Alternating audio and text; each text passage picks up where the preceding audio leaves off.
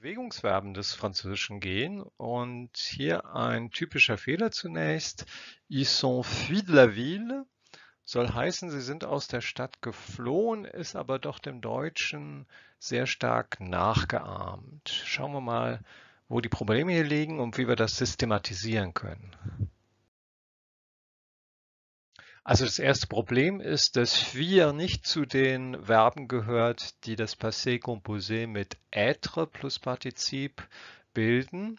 Das ist nämlich nur eine ganz geringe Anzahl, ca. 20 Verben, die man sich leicht merken kann, die das tun.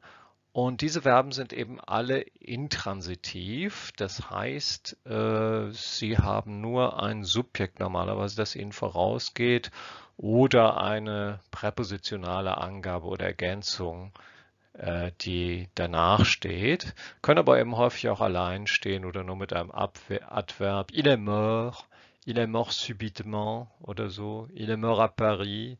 Das sind alles äh, beliebige Ergänzungen dann, die man hinzufügen kann. Also zu diesen 20 Verben, die man sich merken muss, äh, gehören eben advenir, aller, apparaître, réapparaître, arriver, décéder, devenir, redevenir, intervenir, mourir, naître, repartir, partir, parvenir, provenir, rester, survenir und revenir. Und das war's auch schon. Ähm, das sind die Verben, die immer mit être stehen. Und dann gibt es noch eine Reihe von Verben, die je nach Konstruktion mit être oder avoir stehen, nämlich dann, wenn sie intransitiv gebraucht werden, also nehmen wir mal äh, rentrer, äh, il est rentré, il est rentré à la maison, er ist nach Hause gekommen, intransitiver Gebrauch. Ähm, da steht also rentrer mit être. Dann haben wir aber auch den transitiven Gebrauch. Il a rentré la voiture au garage. Also im transitiven Gebrauch etwas in etwas hineinbringen, in diesem Fall hineinfahren. Äh, da haben wir dann avoir. Ne? Die Übersetzungen können hier natürlich sehr vielfältig sein.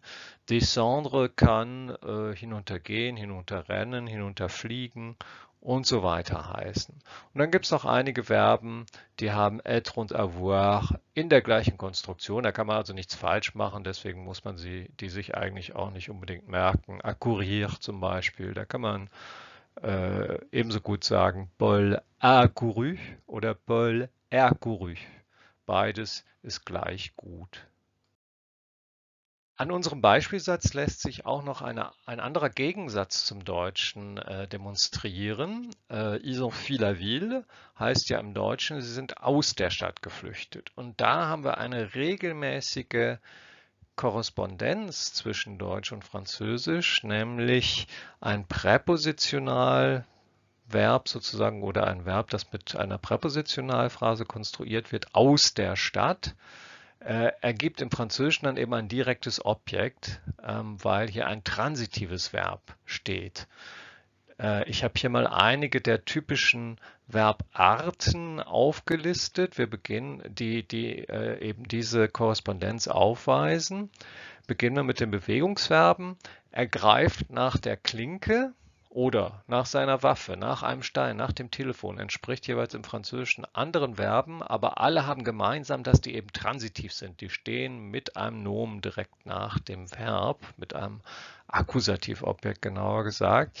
Il saisit la poignée, il prend son arme, il attrape une pierre, il décroche le téléphone. Oder er winkte mit dem Taschentuch. Il a agité le mouchoir. Der Hund wackelt mit dem Schwanz. Le chien agite la queue. Sie lutscht am Daumen. Elle suce son pouce. Sie sind aus der Stadt geflüchtet. Ils ont fui la ville, das ist der Satz, den wir schon kennen. Äh, dann haben wir verschiedene Äquivalente von envahir. Envahir ist eben auch quelque chose oder quelqu'un envahit quelque chose.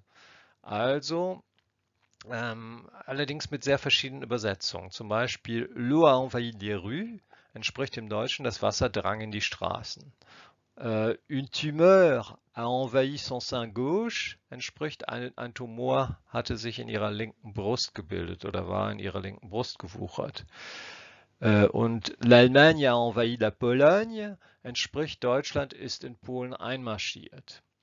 Und schließlich haben wir zum Beispiel noch Einbrechen. Bei mir wird eingebrochen, äh, heißt im Französischen ich werde eingebrochen sozusagen, also äh, äh, on cambriole ma maison zum Beispiel. J'ai été cambriolé deux fois typische Konstruktion mit Cambriolet eben das Passiv. Aber das ist natürlich transitiv letztlich. Sie rieb an ihren Augen. Hier haben wir ein reflexives Verb, wo sich nochmal das gleiche Phänomen zeigt. Im Deutschen reibt man sich an den Augen, im Französischen reibt man sich die Augen, was im Deutschen allerdings auch geht. Elle s'est frotté les yeux.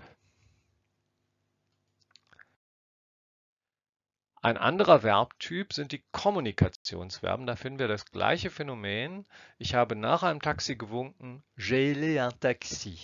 Ich werde, aus, äh, ich werde angepiepst, on me bip, on va me biper. Äh, jemand wird äh, ausgepfiffen, jemand auspfeifen. Siffler quelqu'un. L'équipe d'Angleterre a été copieusement sifflée à son entrée. Bei Fuß. Der Mann pfeift nach seinem Hund, gleiches Verb. L'homme siffle son chien. Er hat nach der Krankenschwester geläutet. Il a sonné l'infirmière. Wenn beim Lehrer Krach herrscht, sagt man chahuter le prof. Ce prof est toujours chahuté. Oder wir stimmen über den Haushalt ab. On vote le budget. Allerdings auch voter contre, voter pour natürlich. Oder mit jemandem schimpft man. La maîtresse gronde les enfants. Man hupt jemanden an. Partikelverb im Deutschen. Euh, on klaxonne quelqu'un. Elle se fait klaxonner par les grosses voitures. Man betet zu jemandem im Deutschen, aber im Französischen prier euh, le Bouddha, prier Dieu und auch Gott anflehen, Gott anrufen, implorer Dieu, invoquer Dieu. So viel für heute. Vielen Dank fürs Zuschauen. Für Abonnenten bin ich dankbar. Tschüss.